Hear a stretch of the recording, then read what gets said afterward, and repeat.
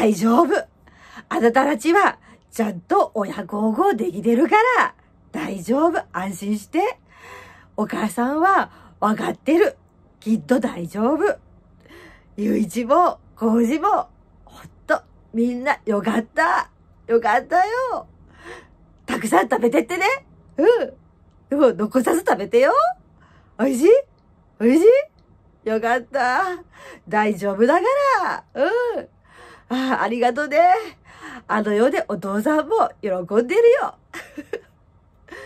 ああ、たくさん食べててよ。おいしい？